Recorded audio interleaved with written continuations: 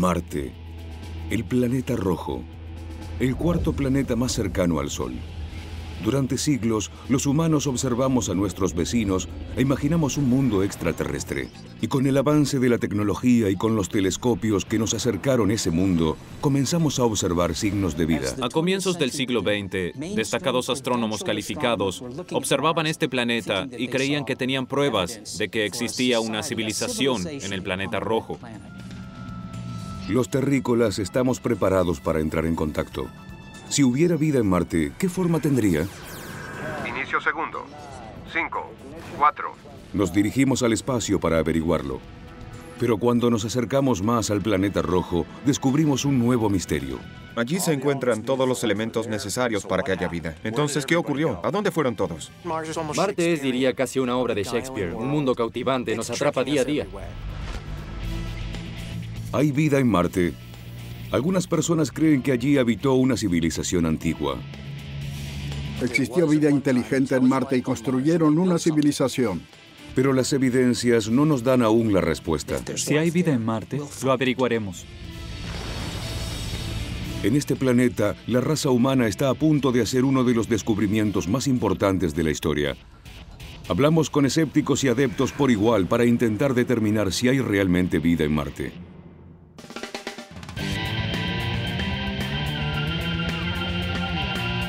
Revelaciones. Vida en Marte. Si alguien planea viajar a Marte, aquí le ofrecemos algunos consejos para que tenga en cuenta y así hacer que su travesía resulte lo más agradable posible. La expedición durará cerca de dos años y medio, incluso alrededor de 12 meses a bordo de una nave espacial interplanetaria. Así que póngase cómodo. Debe pensar en detalle qué provisiones llevar, Será necesario llevar mucha agua, ya que por el momento no hay agua líquida en la superficie del planeta. Además necesitará un traje espacial apropiado y suficiente suministro de oxígeno para respirar. Por último, Marte está una vez y media más lejos del Sol que la Tierra, lo cual significa que es un planeta frío, en el que la temperatura puede descender a unos 90 grados centígrados bajo cero, así que recuerde llevar ropa de abrigo. Pero dejando a un lado estos detalles, Marte tiene mucho para ofrecer. Allí se encuentra el volcán más grande que se conoce en nuestro sistema solar, un magnífico gran cañón e imponentes desiertos. Y los interesados en la cultura no pueden dejar de conocer la famosa cara de Marte. En resumen, viajar a Marte definitivamente será una experiencia gratificante.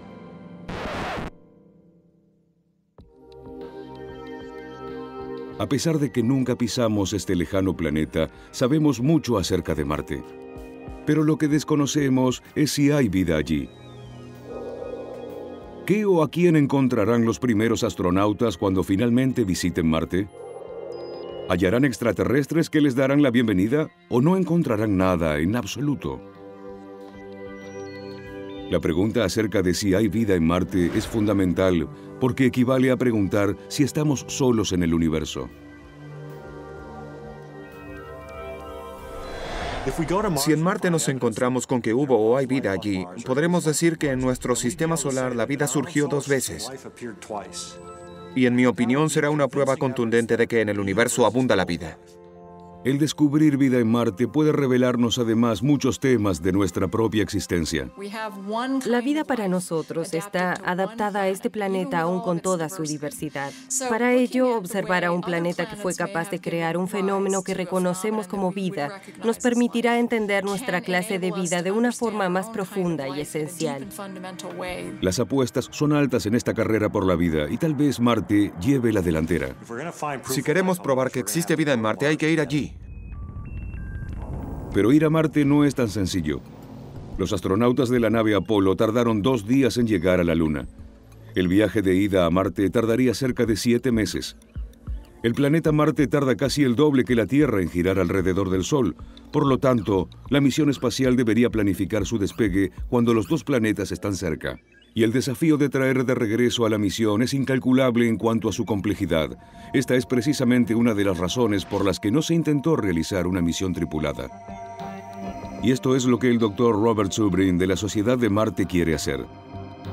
El doctor Subrin es un ingeniero astronáutico con más de 15 años de experiencia en la industria aeroespacial.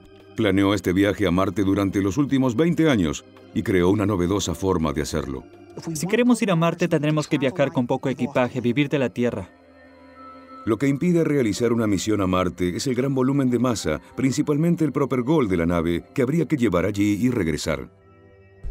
Pero el Dr. Subrin planea llevar la provisión requerida y luego producir lo necesario en el planeta. Hay tres cosas que planeamos producir en Marte. La primera y más importante es propergol, luego agua y por último oxígeno. Todo esto puede hacerse con esta máquina. Aquí explica cómo funciona. La atmósfera marciana está compuesta por el 95% de dióxido de carbono. Bombeamos este material dentro del reactor, lo mezclamos con un poco de hidrógeno y puede producirse metano o monóxido de carbono o una mezcla de los dos y agua. Las mezclas de metano y dióxido de carbono pueden utilizarse como propergoles de la nave espacial para el viaje de regreso a la Tierra. Con respecto al agua, podemos simplemente beberla o electrolizarla y convertirla en hidrógeno u oxígeno el oxígeno resultante podemos utilizarlo para respirar o como propergol del cohete. Así funciona la máquina. Produce combustible, produce oxígeno y produce agua. De esta manera habrá suficiente espacio en la aeronave para los alimentos. Parece sencillo y no es solo una teoría. Subrin probó y perfeccionó esta tecnología trabajando con aire marciano durante años. Este es un motor para cohete a menor escala que funciona con oxígeno, metano y dióxido de carbono. Funciona y funciona muy bien. Estos son excelentes propergoles. Se encienden simplemente con una bujía una y otra vez. A pesar del trabajo realizado por el Dr. Subrin, enviar una misión tripulada a Marte es demasiado caro y peligroso. En cambio, la Comunidad Espacial Internacional dispuso una serie de exploradores robóticos no tripulados sobre y alrededor del planeta. Pero Subrin comenta que dejar a los robots la tarea de investigación de campo deja mucho por descubrir. Sí, podemos enviar robots a Marte. Y apoyo esta idea.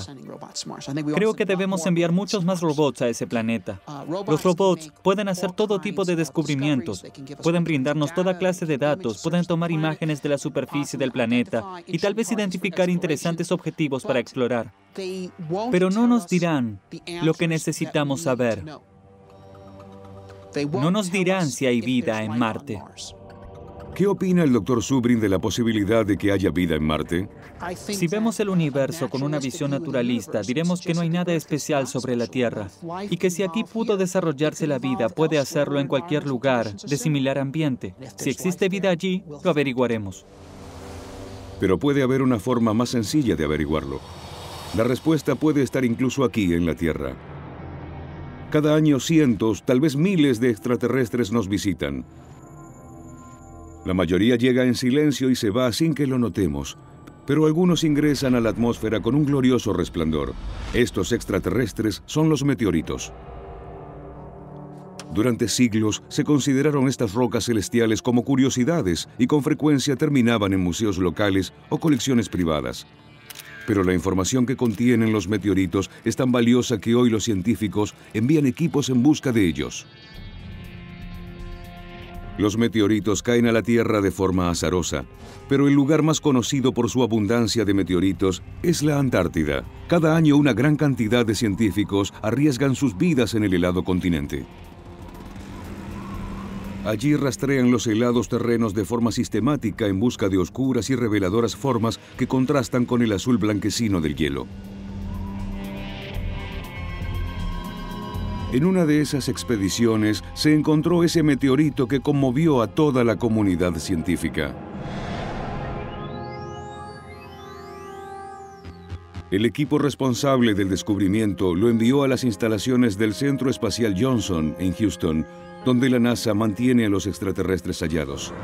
Se trata del descubrimiento 84001, también conocido como meteorito Allen Hills. Esta extraña roca verde se mantuvo en estricta cuarentena. Se procesó, se estudió y se buscaron respuestas acerca de su lugar de origen.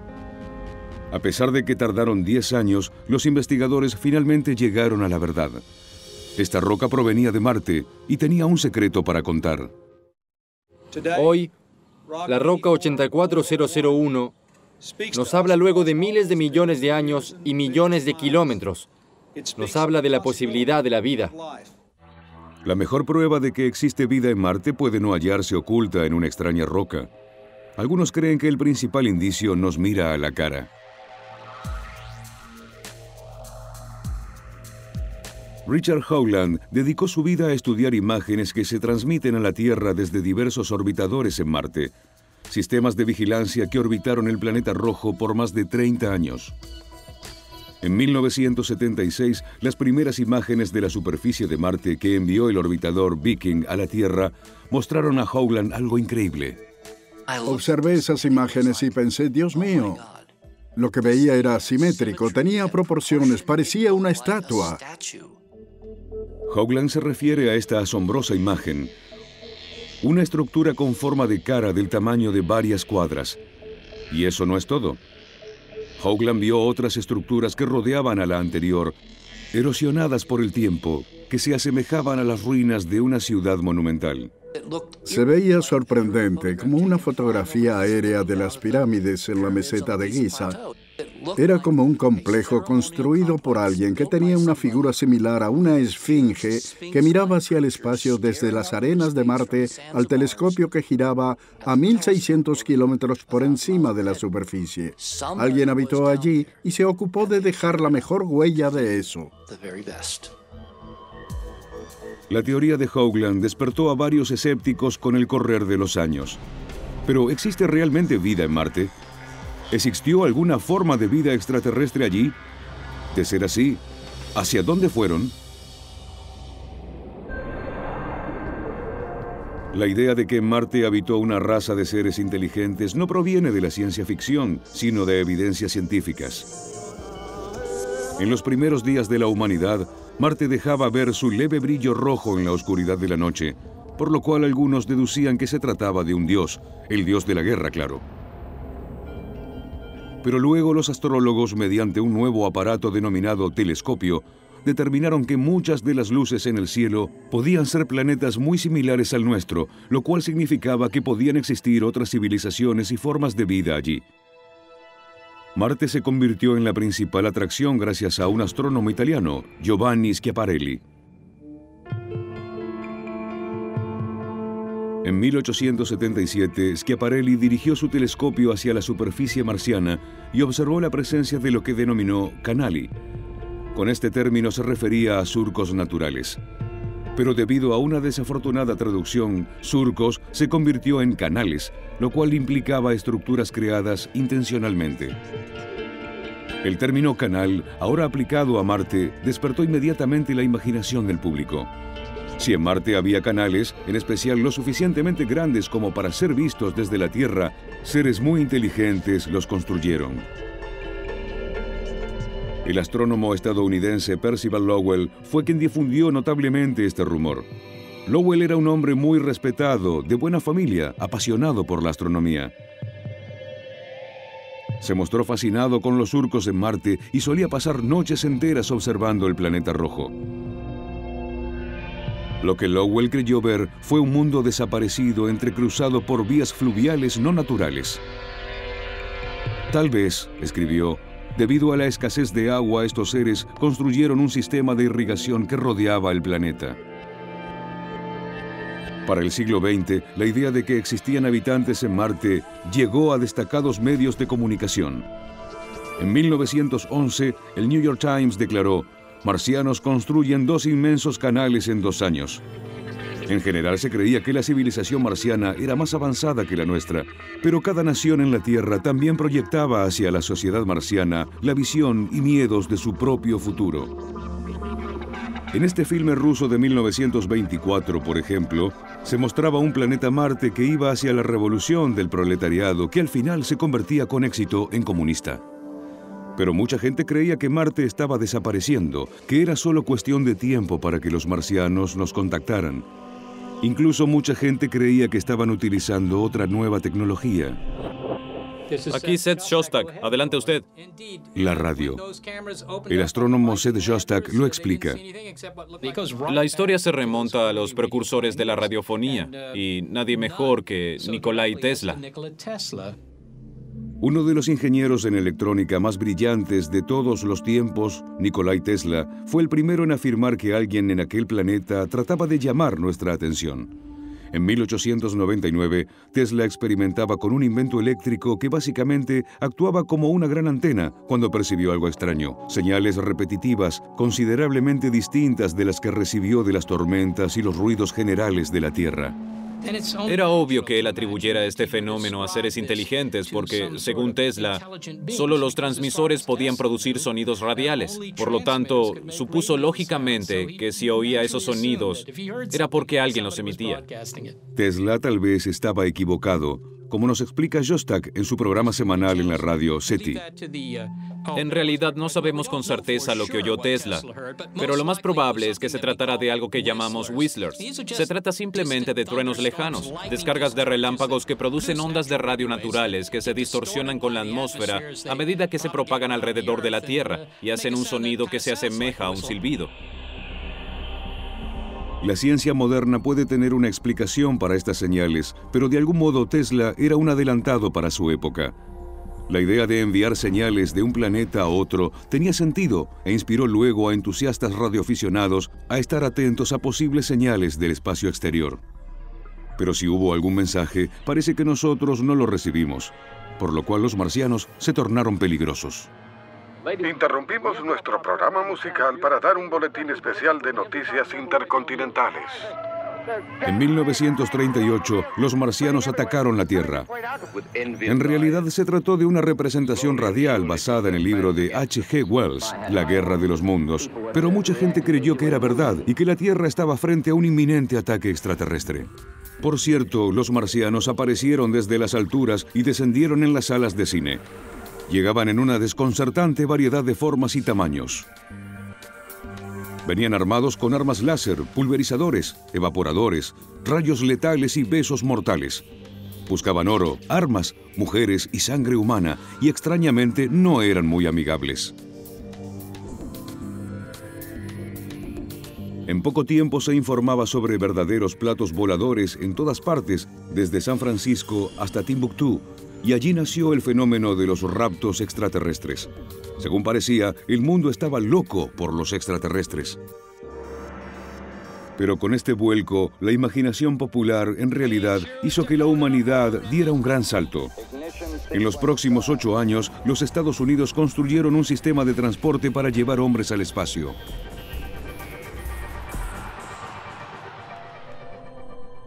En realidad, la Luna fue lo más lejos que llegaron, y allí no había extraterrestres. Pero el hecho era que si nosotros podíamos hacer un viaje de esta naturaleza, existía al menos la posibilidad de que vida extraterrestre fuera capaz de hacer viajes interplanetarios.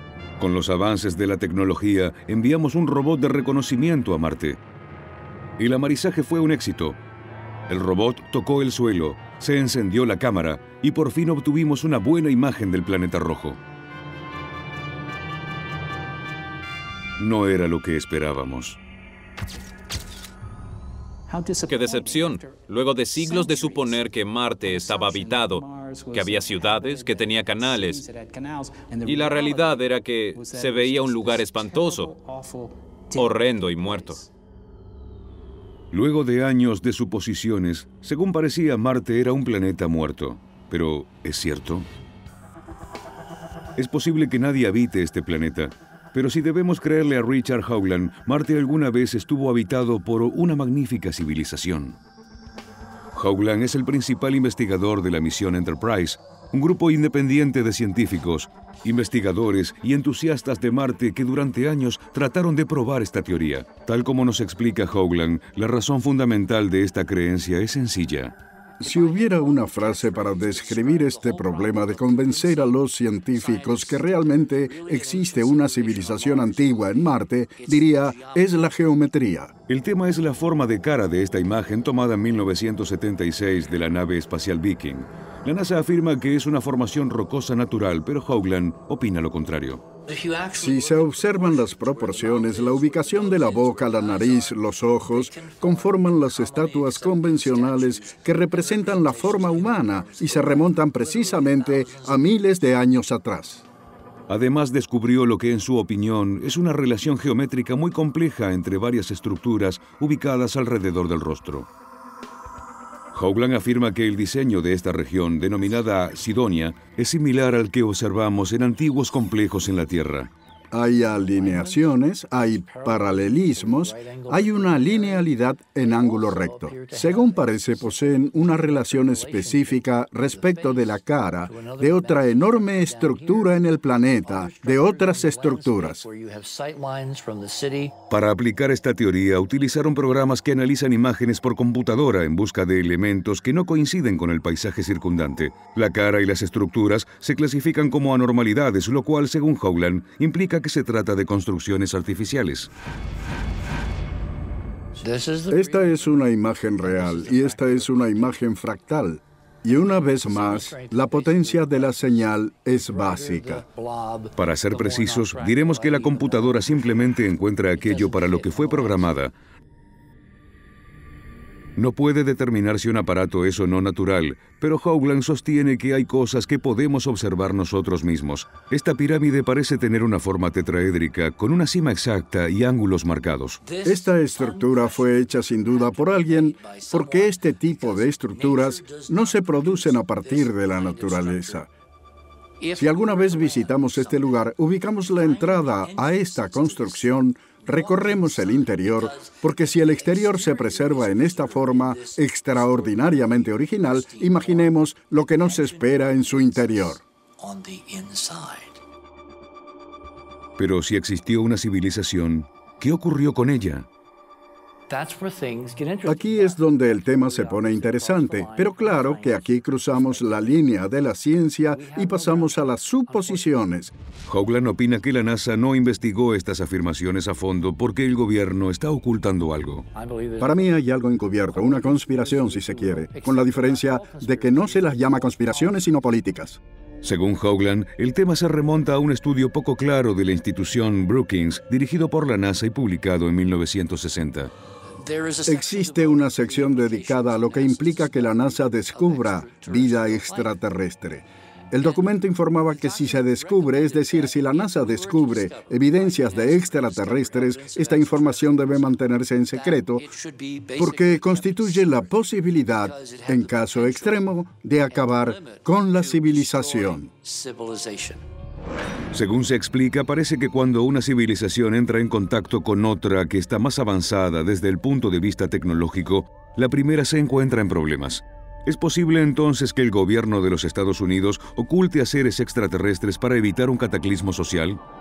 De hecho, todos los informes de Brookings sugieren que debemos hacer más estudios.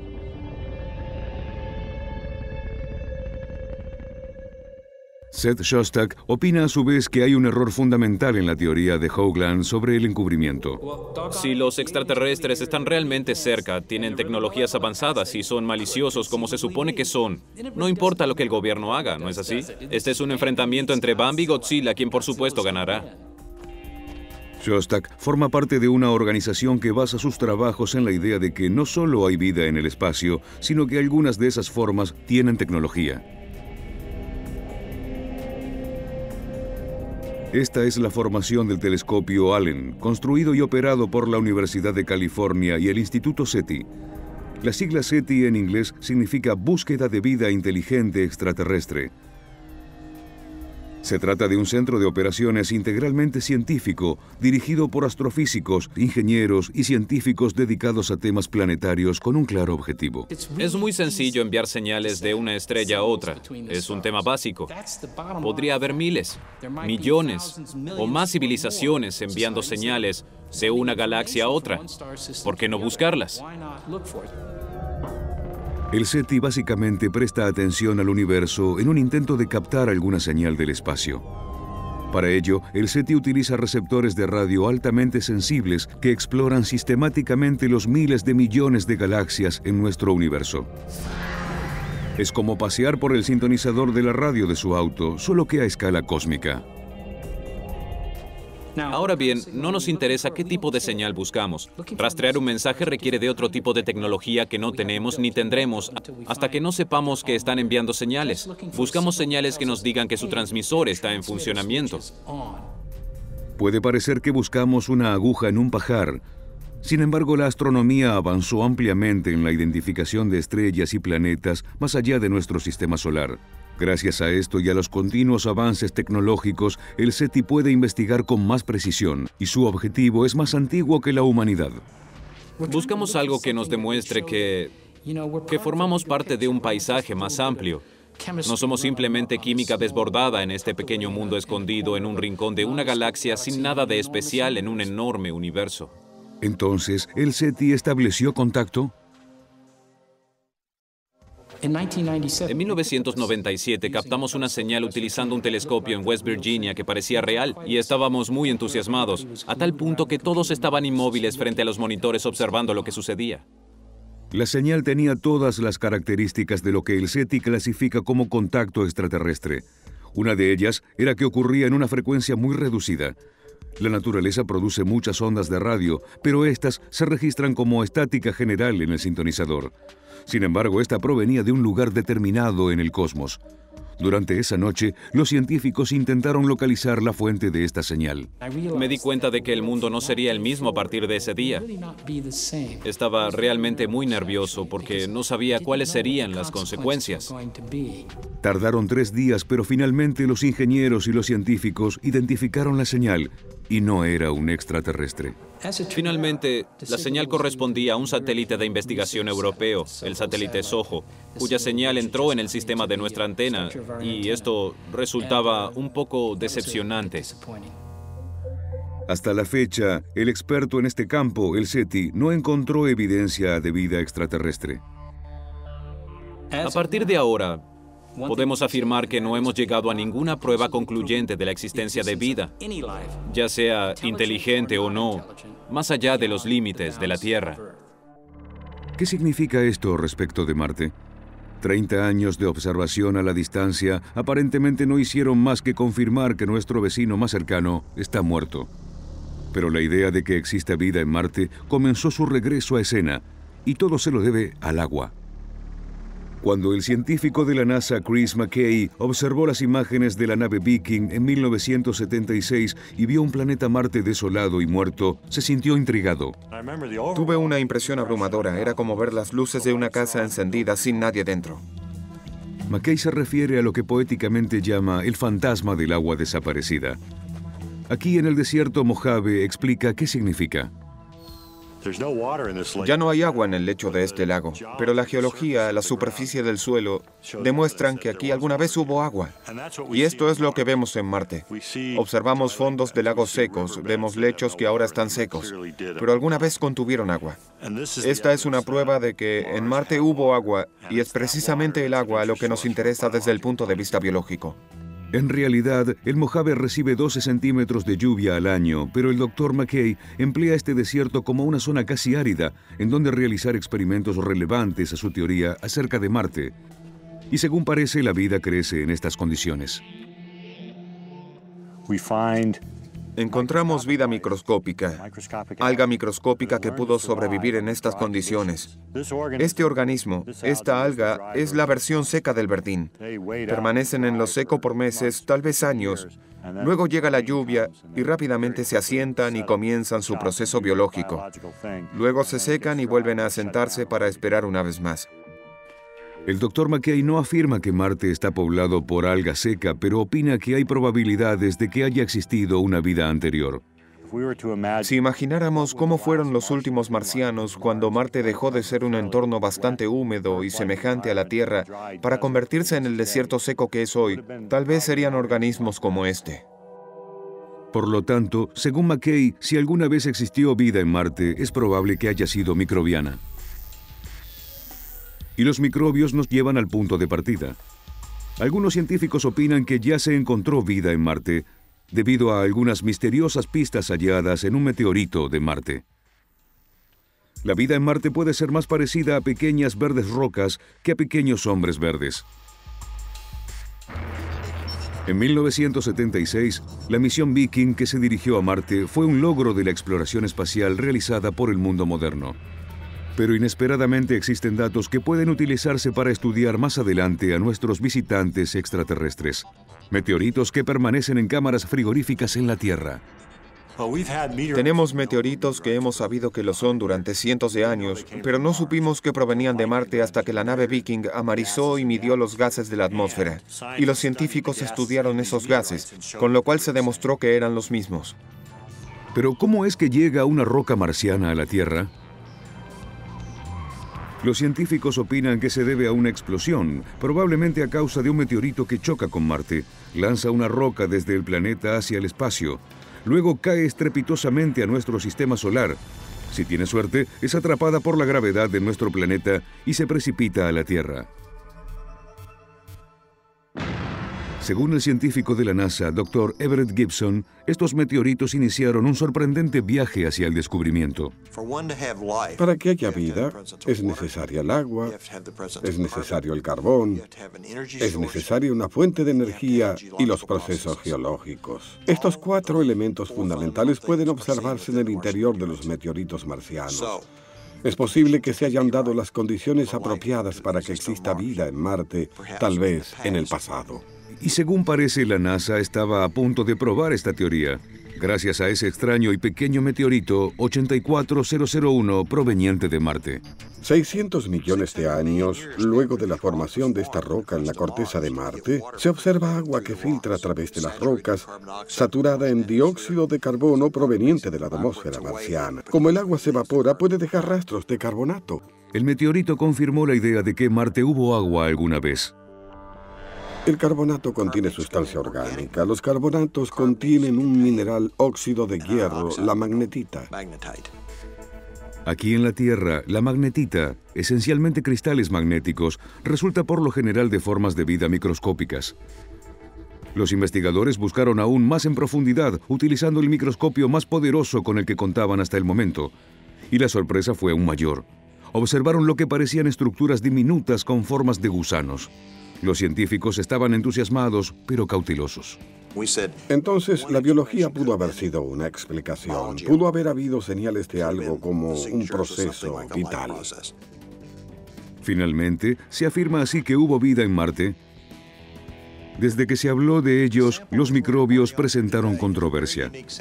Los críticos dicen que los carbonatos, sustancia orgánica y cristales de magnetita pueden explicarse a través de procesos no vitales, y mucha gente cree que las estructuras con forma de gusanos en realidad son masas de material de revestimiento utilizado para evaluar la muestra en el laboratorio. Otros, en cambio, señalan que la roca pudo haberse contaminado en cualquier momento en el transcurso de miles de años en los que permaneció aquí en la Tierra. Sin embargo, la posibilidad de que existan bacterias marcianas reforzó la teoría de la vida en Marte.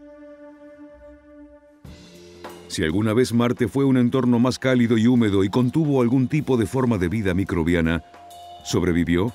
¿Se desarrolló y creció hasta convertirse en estructuras complejas? La idea es atractiva, pero poco probable, especialmente si se tiene en cuenta que las condiciones en Marte son áridas, radioactivas y extremadamente frías. Suele decirse que lo más probable es que nada sobreviva en este ambiente hostil. Sin embargo, es posible que estemos subestimando la naturaleza de la vida microbiana. La astrobióloga Penny Boston busca vida en Marte, sumergiéndose profundamente en el centro de este misterio. Este es un tubo de lava, una cueva subterránea formada por el flujo de lava subterráneo durante una erupción volcánica miles de años atrás.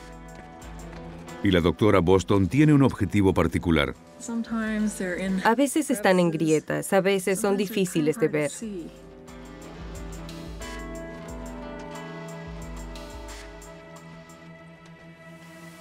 Ahí hay uno. Este es un extremófilo,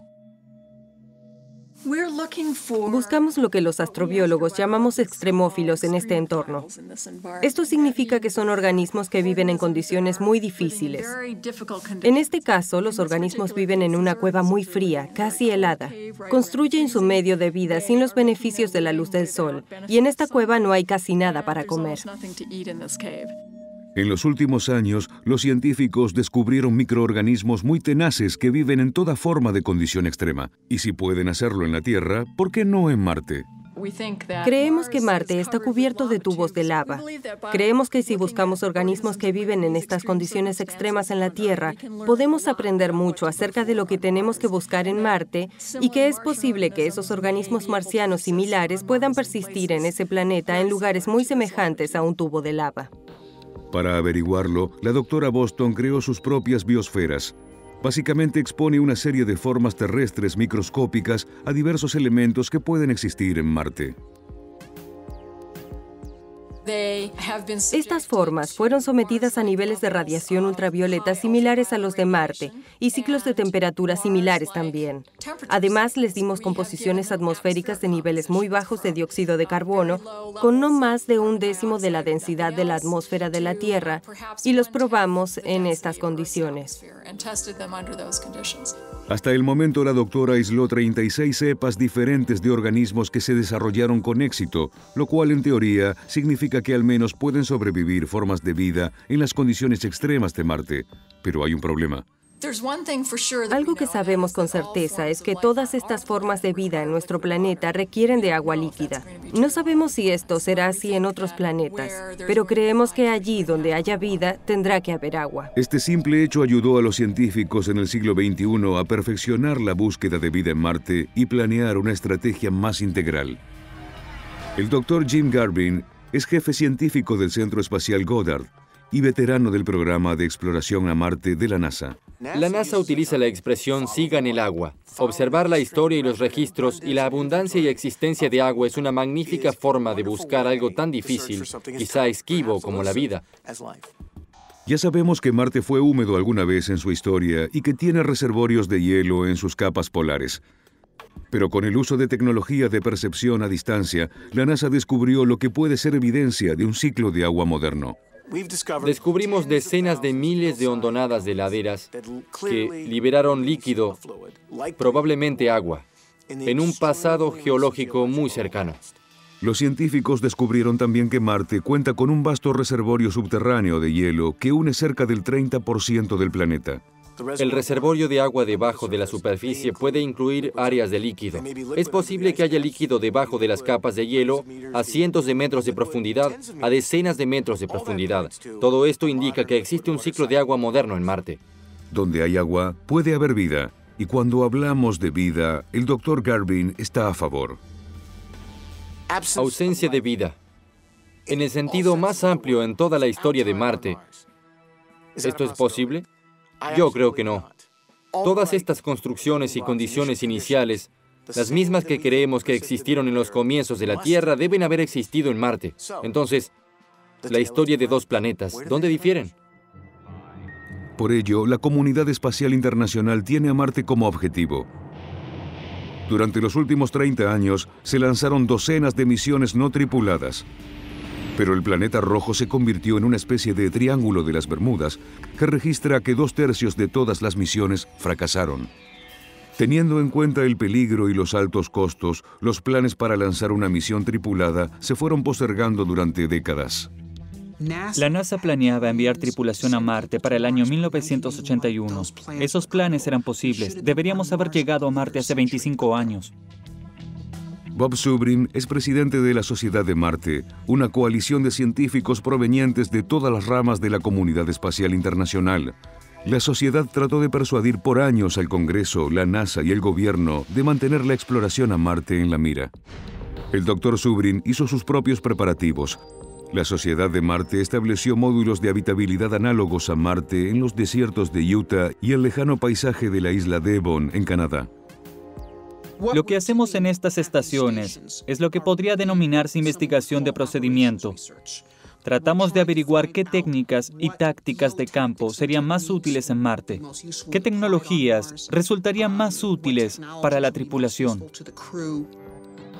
El doctor Subrin planea algo más que un veloz paseo por el espacio. Planea colonizar el planeta.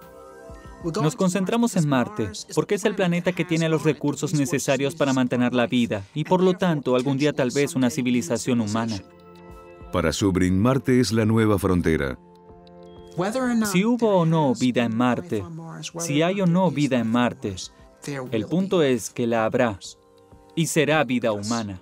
persiste aún el misterio de las pirámides, el supuesto sello de una antigua civilización marciana. ¿Será posible que los seres que construyeron la cara estén de regreso? ¿La enigmática cara de la región de Sidonia será una señal de una civilización perdida? Lo irónico es que obtendremos algunas pistas en la Convención Internacional de Ciencia Ficción en el sur de California.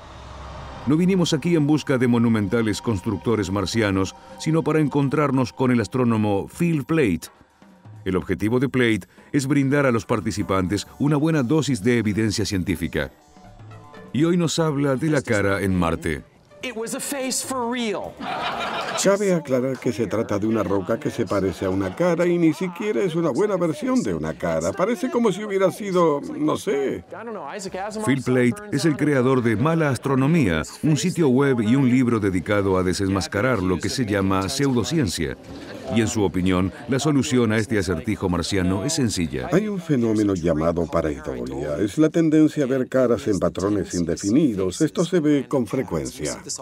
Pero cualquiera fuera la razón, Phil Plate opina que no siempre puede confiarse en lo que ven nuestros ojos. Al cerebro humano no le agradan los patrones indefinidos. Quiere encontrar alguna forma real en esa indefinición aleatoria, aun cuando no haya ninguna.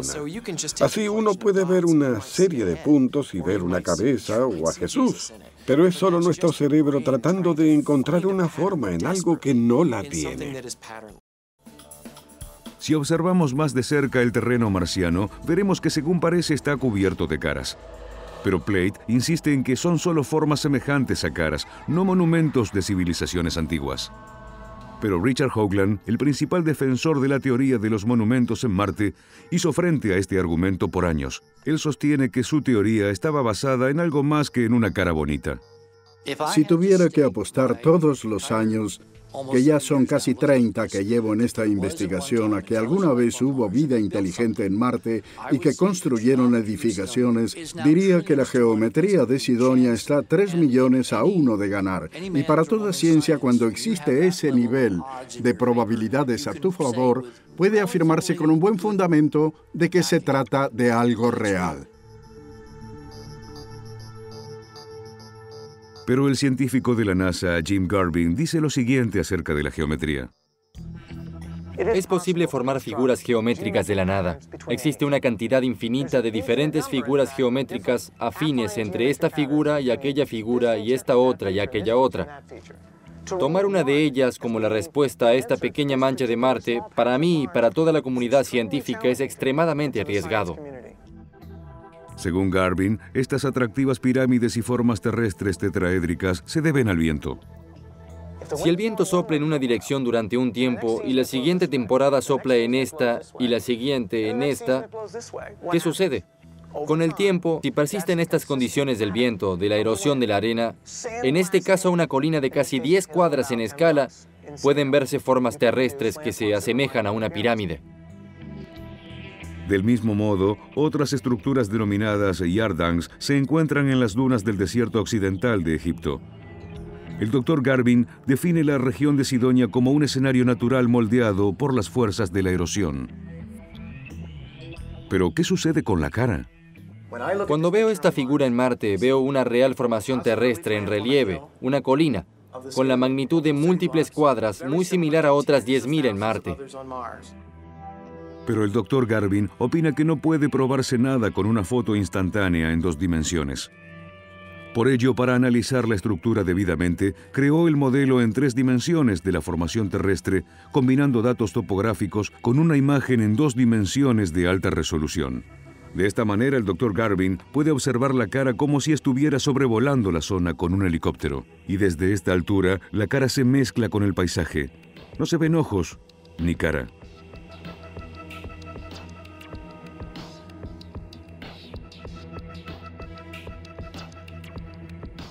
Hay muchas maneras interesantes de ver esta figura. La más simple es la forma natural. Y esto siempre ha funcionado para la ciencia. Algunas personas se preguntan por qué la NASA no envía robots a investigar allí. Pero teniendo en cuenta el enorme costo y el desafío físico de depositar un invaluable equipo como el explorador rover de Marte, deben elegirse los destinos con sumo cuidado sobre la base de las prioridades científicas. ¿Por qué debemos considerar esto como primera prioridad? Esta pregunta queda para ustedes. Buscamos nuestros orígenes y la historia de la vida en el universo. No hay evidencia que apunte a esta pregunta hoy. Algunos aún creen en la magia de monumentos antiguos, mientras que otros se apegan a las evidencias que aporta la ciencia moderna. Durante siglos, el planeta rojo despertó nuestra imaginación. En mi opinión, lo más probable es que no encontremos vida. No hay evidencias, así que no me inclino por ni una ni otra respuesta. Las ansias de saber si existe vida en Marte son tan fuertes porque afecta nuestro lugar en el universo. Somos pequeñas, minúsculas cantidades de materia en un enorme espacio. Cuanto más entendemos la historia de la vida en este sistema solar, en este universo, más entendemos nuestra vida y nuestro propio destino. Hace 30 años que el hombre pisó un mundo exterior. Si la exploración del espacio se hará realidad en el futuro también, tal vez es hora de que miremos hacia Marte. Existen algunos momentos en la historia en los que puede hacerse algo importante. Y creo que esta generación puede averiguar si estamos solos o no. Todos necesitamos esa respuesta. Si investigamos el universo y no encontramos evidencias de vida, debemos empezar a considerar seriamente la posibilidad de que la vida en la Tierra sea única, realmente única. Y este es un verdadero aporte de la Tierra al resto de la galaxia, al resto del universo. Tal vez sea la propia vida. Quizás la peor de nuestras pesadillas marcianas es mejor que descubrir que estamos realmente solos en la inmensidad del espacio. Pero si existe vida en algún lugar del universo, nuestra mayor esperanza de descubrirla permanece en el planeta rojo, el sorprendente vecino que llamamos Marte.